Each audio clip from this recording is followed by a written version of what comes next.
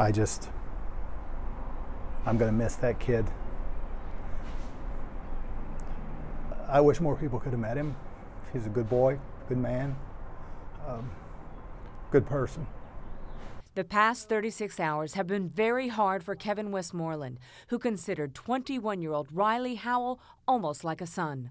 Riley devoted to Kevin's daughter, Lauren Westmoreland. They fell in love at 15. The two high school sweethearts who met at T.C. Roberson five years ago. While Lauren went off to NC State, the two remained committed, seeing one another on weekends and school breaks. Kevin learning today that Riley bravely stood before the gunman to protect others it would make complete sense that he would turn and try to stop it from happening.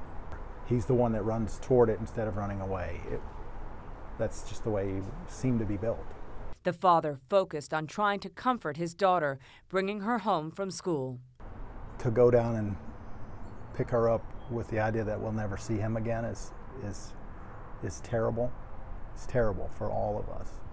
Together, they met up with Riley's family. I just hugged them and I didn't want to let go, and if, I don't think they wanted to let go. And Riley's death striking a heartbreaking chord for all.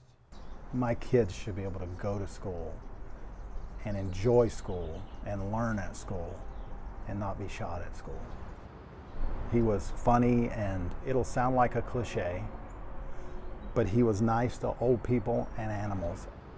For me, it's how to I be the dad that my daughter needs right now. That's what it is for me.